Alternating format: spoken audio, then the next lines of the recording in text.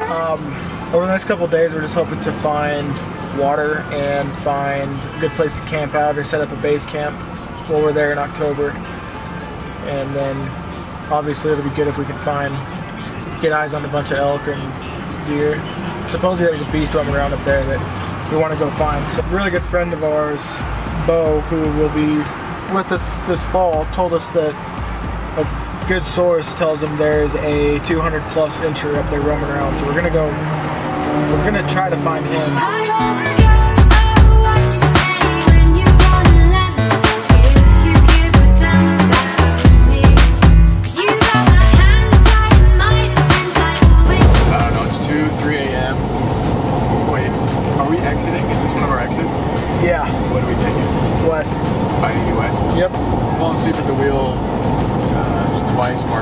Mark to, to drive, Not true. but we're doing good. We have about 1,200 milligrams of caffeine in my, pumping through my veins, so we'll make it. West? West? Yep. Alright. In a half mile, take exit Okay. 80 for I-80 West. We're sitting in traffic. Apparently, there's a traffic delay. We're sitting here, trucks off, hanging out. Don't really know what's going on. Construction or something.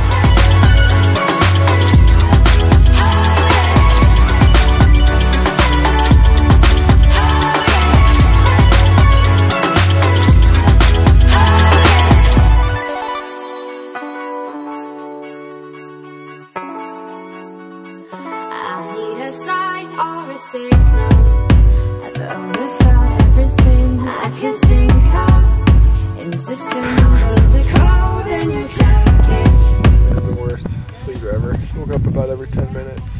Switching sides because I was on a rock.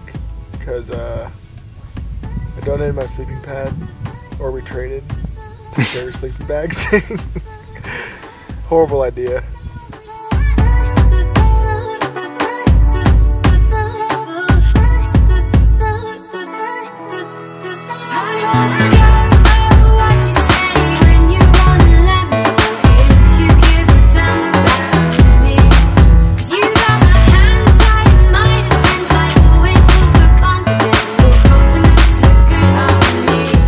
Pretty close to our base camp, maybe just like a quarter mile. And as soon as we sat down, started seeing elk. So there's like a little prepubescent bull down there. Thinks he's a boss. Keeps squeaking every now and then. You probably hear him. Hold on. And then other than that, we have seen maybe there's probably three or four little spikes down there, and then 45 plus cows, a bunch of calves. Pretty decent little herd right here. We're about to pack up and go try to find some deer.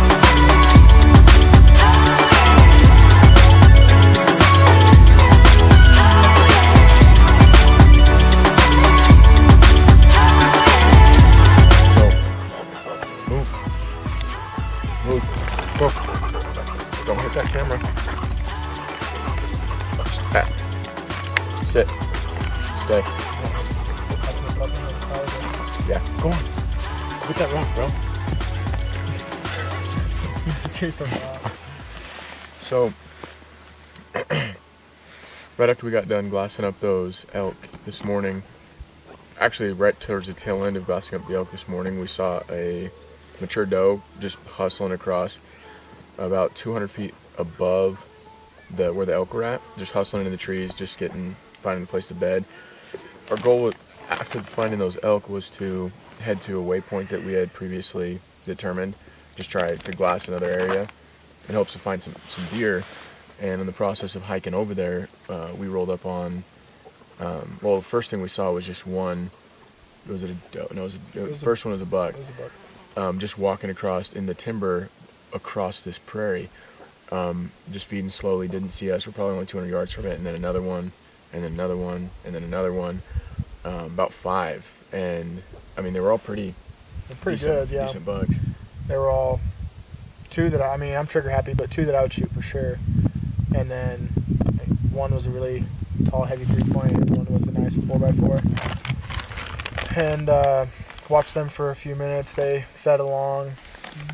I don't even if they noticed us, they didn't care, and they just fed down the hill and out of sight.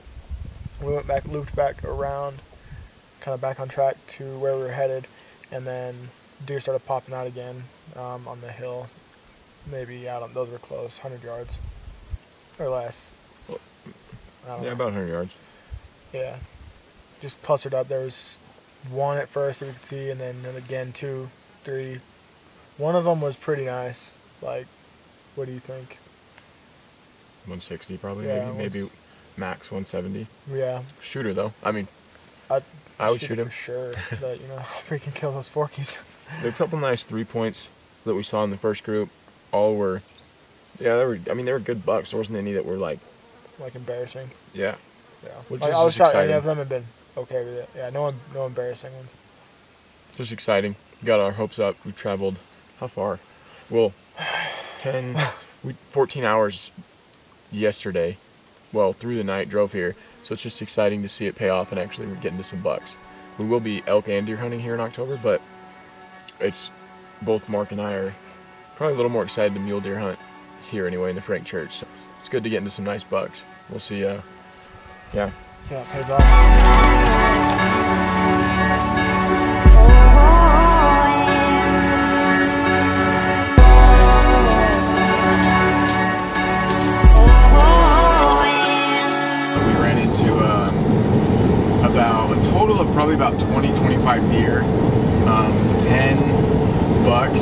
Biggest the best ones we saw were probably 160 maybe pushing 170 we didn't get we didn't get like the best look at, at some of the bigger ones but overall like it was it, it was definitely a success. We're gonna I think we're gonna go in and annihilate it in October.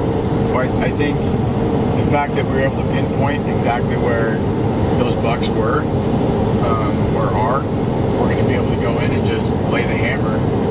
Even though we're, we have six days to do it, I think. I mean, we could probably do it the first couple days, depending on what we're trying to hold out for. I personally, I mean, I I'm not I'm not a picky hunter. I'll shoot. I don't care. Well, my ultimate goal for the hunt is is really just to, to, to fill my tag. It's an any buck unit. The Frank Church is known for having really big, nasty bucks.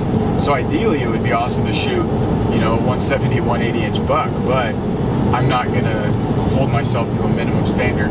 Four point, I would say, is my minimum. But as far as inches, I mean, I would shoot a 150 inch buck uh, in there. Just my reason mainly because Frank, Mr. Frank Church, has has I've been skunked by him the last two years. So I just want to go in and show him who's boss and show Frank that I can fill a tag and just get it done.